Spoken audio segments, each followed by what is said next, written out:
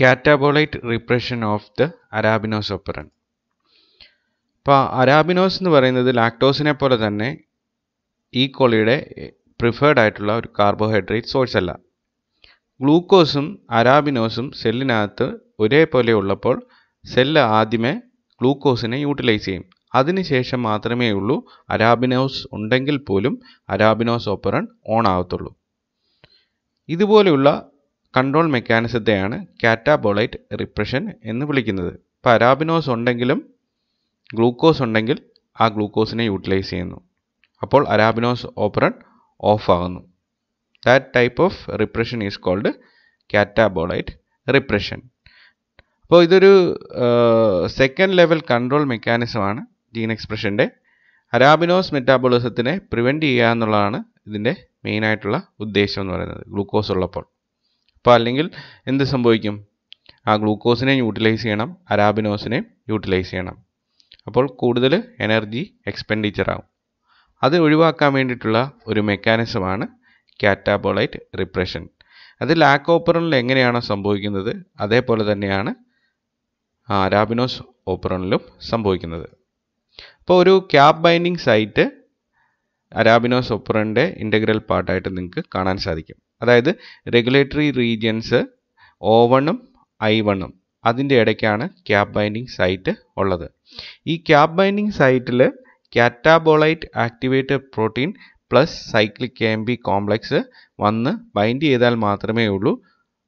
Even arabinose ഉണ്ടെങ്കിൽ പോലും ഈ ബി എ ഡി എന്ന് പറയുന്ന സ്ട്രക്ചറൽ ജീൻസിന്റെ എക്സ്പ്രഷൻ നടക്കുകയുള്ളൂ. ഓക്കെ അപ്പോൾ ആ cap cyclic A M P complex formation. അത് എന്തുമായിട്ടാണ് ബന്ധപ്പെട്ടിരിക്കുന്നത്? ഗ്ലൂക്കോസിന്റെ ലെവലുമായിട്ടാണ് ബന്ധപ്പെട്ടിരിക്കുന്നത്. അപ്പോൾ എ ടി പിയിൽ നിന്നാണ് സൈക്ലിക് എ എം ബി ഉണ്ടാകുന്നത് എ ടി പിയിൽ നിന്ന് സൈക്ലിക് എ എം ബി ഉണ്ടാക്കുന്ന എൻസൈമിന് പറയുന്ന പേരാണ് അഡിനൈൽ സൈക്ലൈസ്. ഗ്ലൂക്കോസിന്റെ ലെവൽ വളരെ കൂടുതലാണെങ്കിൽ അഡിനൈൽ സൈക്ലൈസ് എന്ന് പറയുന്നത് ഇനാക്റ്റീവ് ആയിരിക്കും.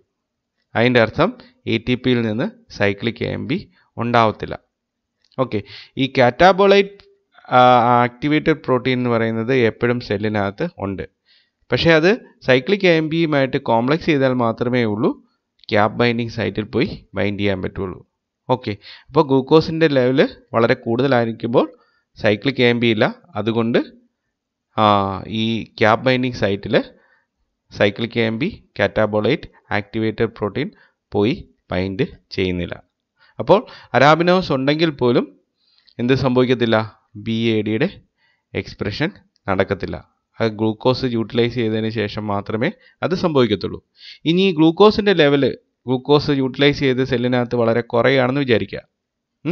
അപ്പോൾ low level of glucose will induce the activity of adenylate cyclase adenylate സൈക്ലൈസിന്റെ activity ഈ ഗ്ലൂക്കോസിന്റെ ലെവൽ കുറയുന്നത് കൊണ്ട് റീഗെയിൻ ചെയ്യപ്പെടും.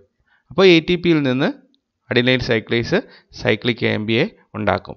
ഈ സൈക്ലിക് എം ബി ആ ഇനാക്റ്റീവ് ആയിട്ടുള്ള കാറ്റാബോളൈറ്റ് ആക്ടിവേറ്റഡ് പ്രോട്ടീനുമായിട്ട് കോംപ്ലക്സ് ചെയ്ത് ആക്റ്റീവ് ആയിട്ടുള്ള ആ cyclic M P catabolite activator protein complex ഉണ്ടാകും ഇത് ക്യാപ് ബൈൻഡിൽ പോയി ക്യാപ് ബൈൻഡിങ് സൈറ്റിൽ പോയി ബൈൻഡ് ചെയ്ത് കഴിഞ്ഞാൽ അരാബിനോസ് ഉണ്ടെങ്കിൽ അരാബിനോസ് ഒപ്പറൺ ഓൺ ആകും അതായത് ബി എ ഡിയുടെ ട്രാൻസ്ക്രിപ്ഷനും ട്രാൻസ്ലേഷനും സംഭവിച്ച് അരാബിനോസിനെ ബ്രേക്ക് ഡൗൺ ചെയ്യപ്പെടും.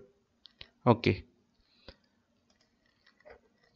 അപ്പോൾ ഇത് അരാബിനോസ് ഓപ്പറന്റെ ഒരു പോസിറ്റീവ് റെഗുലേഷന്റെ കാറ്റാബോളൈറ്റ് റിപ്രഷൻ എല്ലാം ഇൻക്ലൂഡ് ചെയ്തിരിക്കുന്ന ഒരു ഡയഗ്രമാണ് ഓക്കെ അപ്പോൾ ഇവിടെ അരാബിനോസ് പ്രസന്റ് എന്ന് പറയുന്ന ഒരു കണ്ടീഷനാണ് ഇൻഡ്യൂസിബിൾ ഓപ്പറൺ ആണ്. അരാബിനോസ് എന്ന് പറയുന്ന ഇൻഡ്യൂസറാണ് അപ്പോൾ അതുകൊണ്ട് ഈ പോസിറ്റീവ് റെഗുലേഷന് വേണ്ടിയിട്ടുള്ള എല്ലാ ഫേവറബിൾ കണ്ടീഷനും ഇവിടെ ഉണ്ട്. പക്ഷേ എന്തുകൂടെ സംഭവിക്കണം? ക്യാപ് ബൈൻഡിങ് സൈറ്റിൽ പോയി cyclic M P catabolite activated protein complex പോയി ബൈൻഡ് ചെയ്യണം.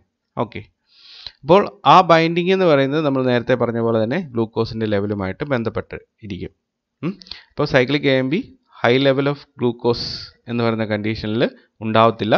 അപ്പോൾ ക്യാബ് ബൈൻഡിങ് സൈറ്റ് വീക്കന്റ് ആയിട്ട് കിടക്കും. അതിന്റെ അർത്ഥം ബി എ ഡിയുടെ എക്സ്പ്രഷൻ നടക്കത്തില്ല.